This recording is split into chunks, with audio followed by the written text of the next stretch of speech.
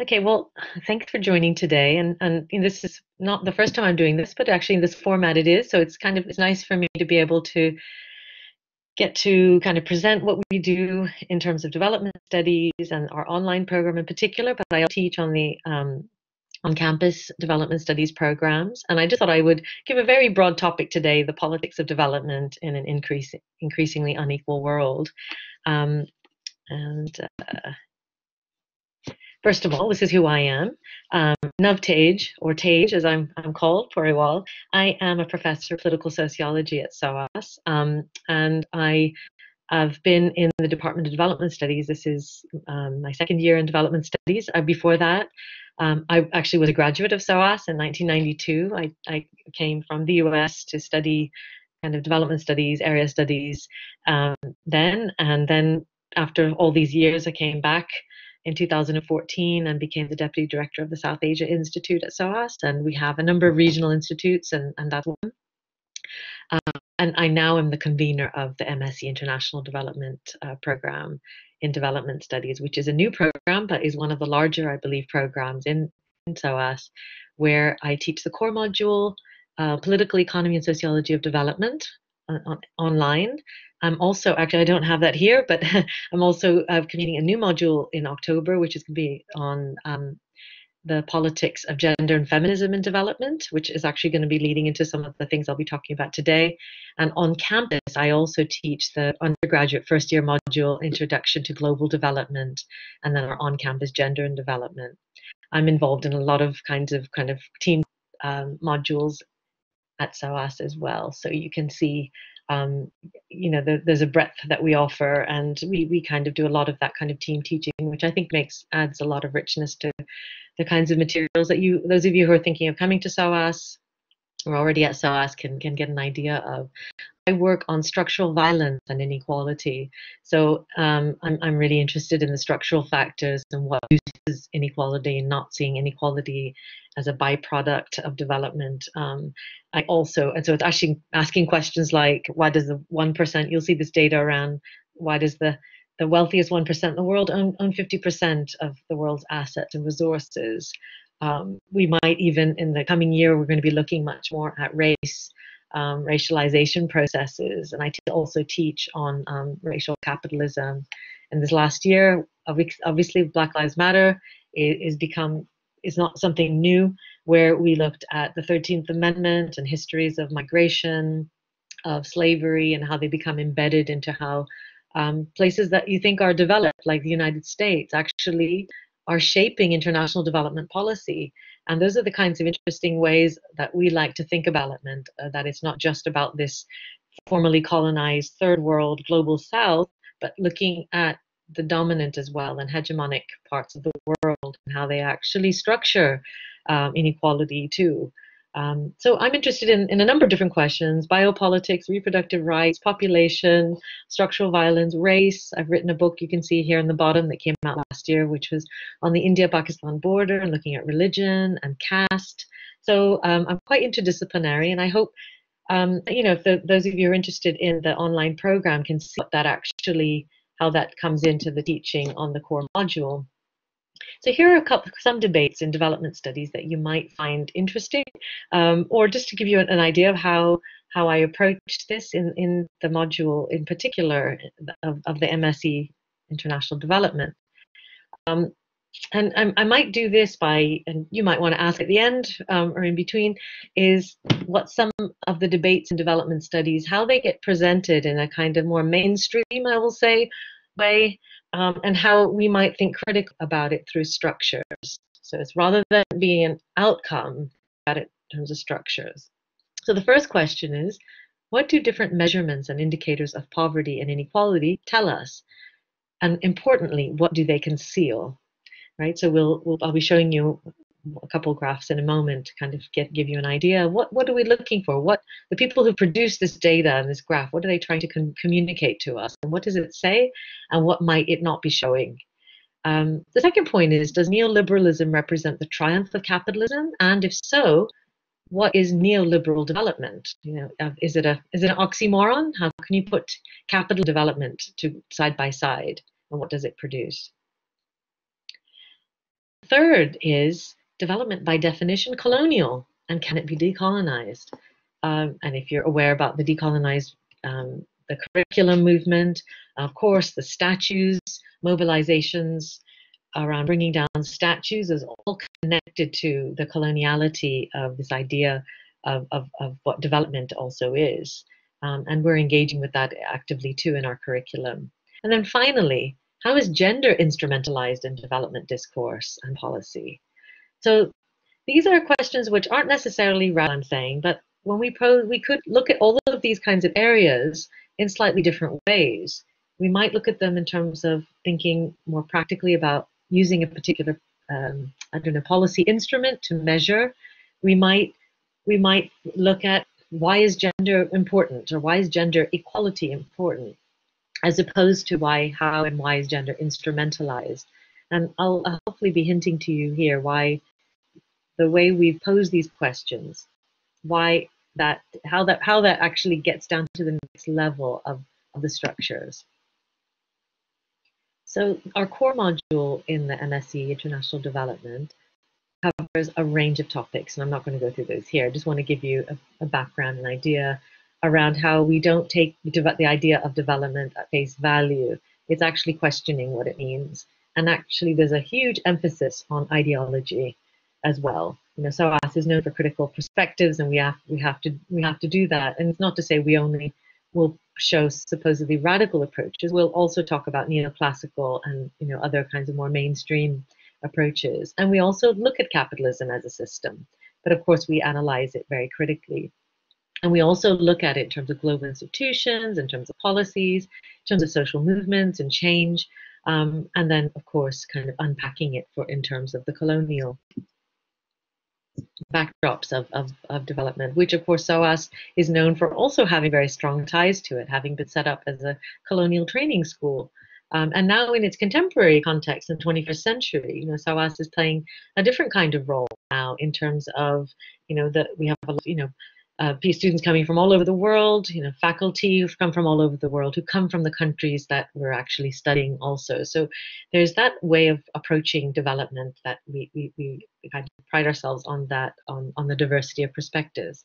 So what I wanted to do today was actually highlight um, an area of mine, which is looking at, at gender in development. And you might have heard of all of the acronyms of women in development, women and development, gender and development, so WID, WAD, GAD, lots of acronyms, which actually show how institutionalized gender policies have become. It's become what many people have called a common sense that, you know, gender equality makes sense for everyone, that it should be something that every country, all policies should be implementing and, and working towards. Um, so I'm just going to like highlight a few of the kind of ways in which we might up this. One is um, is thinking about how gender has historically featured in development interventions, which has a slightly more uh, cynical or maybe even sinister uh, view on, on gender as how, in terms of how it's mobilized. The second is actually questioning and challenging universal principles. The universalization of those kinds of, you know, high level um, so, for instance, the final point here I have on CEDAW, Platform for Action, 1995. You know, trying to ratify, trying to bring get countries to sign up to um, universal principles is can, on the one hand, sound very good for global agendas, and in terms of local agendas, and also for local, you know, progressive movements or women's organizations or feminist movements who are trying to question the, the status quo, that can also have detrimental impacts. And that that's, those are kinds of places that we would like to also engage with. Um, what does mainstreaming gender signify in the Millennium De Development Goals and the Sustainable Development Goals?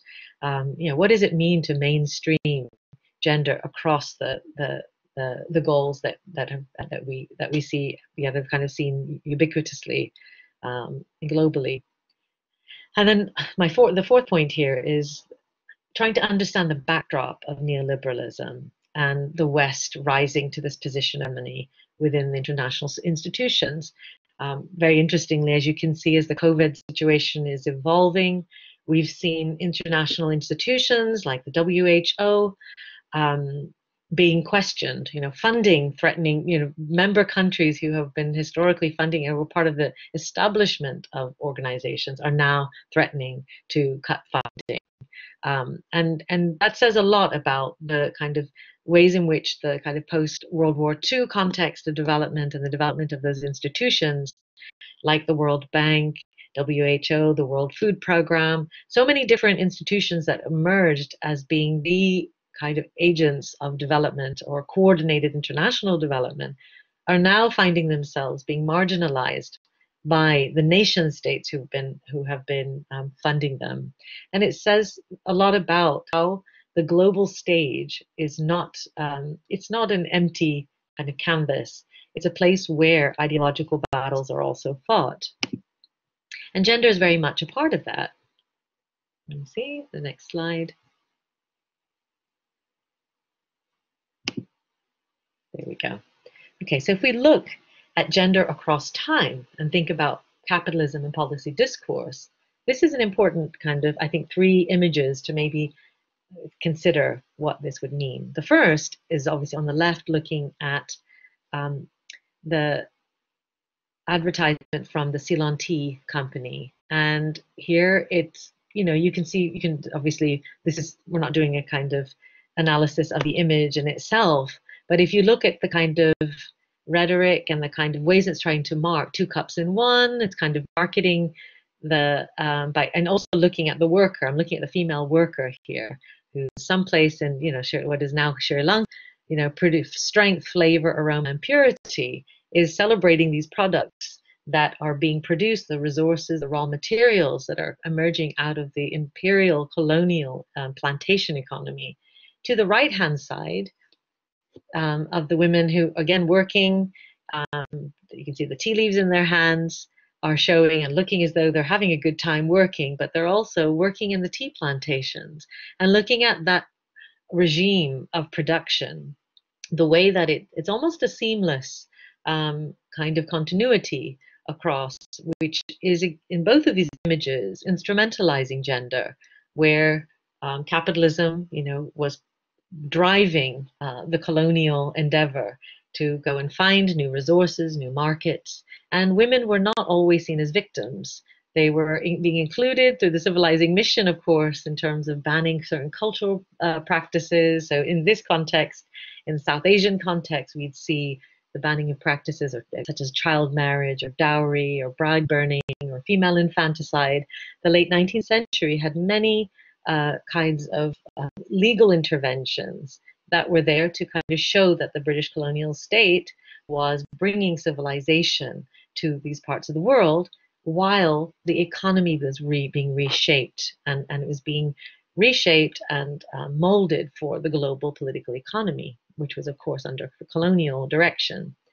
Now, if we say that these two may show some continuities, if you look on the bottom right, we look at this as being this this is also part of the Unilever advert as the same as above, which is also tagging on the SDGs. So a company, a multinational corporation like Unilever is simultaneously um, tapping into, and it's part of part of the continuity of the colonial, colonial economy, as we know, but it's also part of the global um, discourse on on um, sustainability um, it's not talking about gender explicitly here in terms of the SDGs it mentions, but it's certainly instrumentalizing the idea of gender and, and women as workers and, and, and bringing them into the, as, uh, into the economy as active um, contributors to the economy.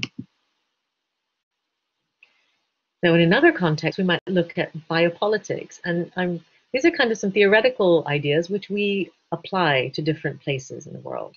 Okay, so this is an area of research that I've done, which is looking at the sex selection, uh, sorry, the sex ratio, and behind that is this idea that sex selection, uh, the performance of um, sex selective abortions might be resulting in a, a an increasing um, uh, masculine sex ratio, and this this line here shows us um, on the bottom on the in the graph that as the total population um, average is kind of showing an Im- improvement in terms of the sex ratio, we can see that at the age of zero to six, it's going down. Now, why the, am I why am I showing you this? What I, the reason I'm showing it because it's actually a very stark example of intervention. So when we think about development and intervention, oftentimes you'll think, okay, this is social policy. We're looking at a post 2000 Washington consensus point where the human face of capitalism was being um, implemented through social ministries of social development. So most countries ended up setting up in some form or another some form of social development if they didn't already have these bodies. And in the Indian context, the, the ministries of social development and the departments for women and, and, and child care became part of the kind of projection of this idea of the girl child. And it dated back to 1990 when UNICEF, you can see the stamp there, you know, set, set up the, the decade for the girl child, where it was identified that the girl child is the most deprived, the most excluded, whose life chances were um, the most depleted. Um, and therefore, the, the state came in and said, we will, through a number of different regimes, I can't don't have time here to explain, but um, to, to come in and make certain interventions. And the places at which this intervention took place were in 1994 and 2003. And those are the that point where we see the two lines crossing is where we see the interventions actually having a negative effect. So as the state comes in and criminalizes, um, for instance, sex selective abortion, um, you can see that in fact the practice is likely to have, have, have uh, occurred in more underground ways. Um, on the other hand, we see on the top, there's a banking scheme that the government introduced. It started in 2015 um, which is called Save the Girl Child, Educate the Girl Child, um, which brought in the private banking system um, as natural partners. And so this is an example of neoliberalism at its, so it's bringing together biopolitics, the state, control population, but it's also bringing in private actors, such as the private banking sector in India, to incentivize the birth of girl children by giving a payment at the time of birth to the parents, at the point when she would be carrying on with her education, from the age of 10 11 before she'd go which is the, the dropout rate where it's the highest at the age of 10 11 and then finally age of 18 when girls would be either either 18 or 21 when they'd be at the age of, of marriage um, and the the scheme very clearly showed that this is going to be the state's contribution to the dowry which is seen as you know which is a kind of cultural uh, or the gender uh, kind of um, ways in which women are tied to patrimony. So it's not progressive. It's not arguing we're going to end dowry. It's actually working culture and very gendered notions of, of the family and, and womanhood all into capitalism. And this is, um, this is really what we're looking at now. And so the picture becomes very muddled when we see that neoliberal development are, is now, um, now a thing. it's now a concept which is here, there, and everywhere. So when corporations are also on board, are on board, NGOs are having to look for funding, we can see that it's a very mixed picture. And when we think about neoliberal development, to just give you a, a, um, a definition about what that is, the neoliberal turn, it's the withdrawal of the state from welfare and a shrinking role of the state in terms of provision of public health care, education, and social services. So the state over the last few decades, through structural adjustment, um, are a number of other packages which have seen a real kind of overhauling of the post-colonial state, the state that post-colonial state that had been, you know, struggling in many ways to recover from colonialism and to build national economies, is now being shrunk even further. And so here we see a heightened presence of private forces in traditionally public realms. And it's here that the neoliberal state can often also take on repressive features.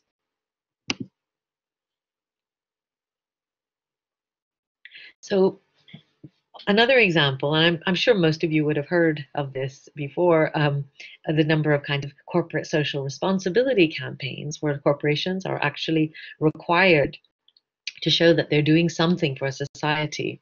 And so corporate social responsibility, CSR, is is people would say is a way for corporations or otherwise, you know, doing things very unethically are able to funnel their um, uh, profits into work that does is doing good for society. So on the left, you can see the kind of sweatshop. There's doc, many documentaries on that.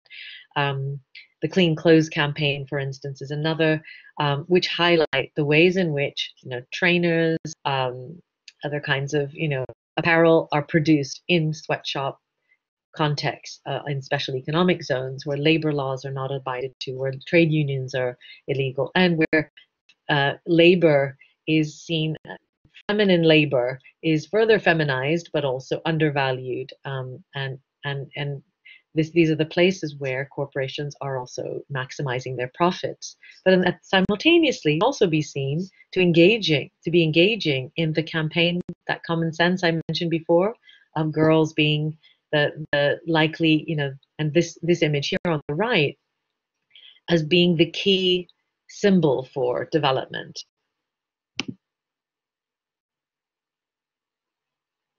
not all not all of the slides are showing here. I'm sorry there, I had another image, but it's not there. Okay, that's all right. Um, so there, there are a number of things when we look at, I mean, I've kind of given you examples that are out there in the world in terms of corporations, the, the neoliberal context that, that is really everywhere. Neoliberalism as a concept is capitalism in its you know in its kind of sharpened heightened state but it is the system. Um, and so for those of us who are studying development um, and we do study dependency theory and structuralism a number of different competing frameworks but what we're finding increasingly is that we are operating within a neoliberal global uh, context and therefore we need to share our tools and our skills for, for in order to be able to understand you know, how do we work um, in this system in addressing structures that underlie the politics of development? So there are historical connections um, and relations of power between the what's so-called global north and global south and lots of different other terminologies depending on how you are mapping whatever dynamics you're looking at. So empire, coloniality, they haven't gone away. Um, and many economies are still locked into producing raw materials on very unfair and uneven terms of trade. We also see economic and political institutions that have been historically aligned to states that benefited from colonization. Um, and can, we can see the ways in which many countries are still paying back debts that are tied to those histories, um, which are accumulating interest, um, and how that impacts the, the ways in which you know any kind of any country is able to do its own planning. We also are interested then in looking at the social dynamics, so class, race, gender, um, and how social dynamics are also a key site for the reproduction of inequality. Um, we can see we can see a persistence of systemic processes as a result. So when we don't question the underlying politics or the underlying structures, then we're all we're doing is making a superficial kind of um, intervention, which will just continue to reproduce and perpetuate those. And I think that probably, if I wanted to say in a nutshell, kind of talks about um, you know how and why doing a critical approach towards development and not just doing development studies but doing understanding it through the, the political economy and the politics of development is absolutely essential. So um, I'm just going to now briefly just talk about the, the program in particular.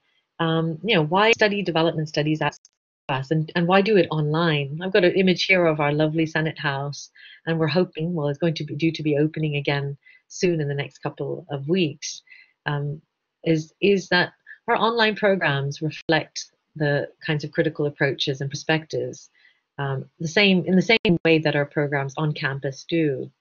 Um, we have a really good pedagogy, I think, in terms of the distance learning, which um, I mean, you're free to ask afterwards about how it works with distance learning. Is that people are all over the world, um, and the we work with an assumption that uh, people are based and might be busy at different at, the, at different times, um, or available at different times so that you are able to benefit from being in that kind of um, in that learning space um, so we have really you know the we have a global network of students uh, many of whom are already working in international development and are working while they're studying also.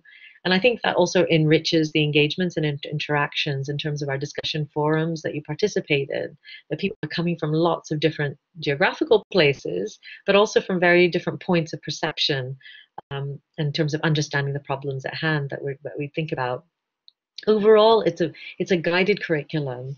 Um, if I had to describe it in, in any way, with flexible self-learning and it's through this then that we set up a, a kind of structure through our um, the you know virtual learning environment where it's activities which are basically assignments or assessments which are broken down as kind of building blocks um, and they eventually as we've seen you know very successfully that students become equipped very quickly with very good analytical and written skills okay so I've kind of rushed through that. Um, I I wanted to just give you a taste of some of the kinds of questions that we look at, but I'd, I'd be more than happy to answer any questions if anyone has.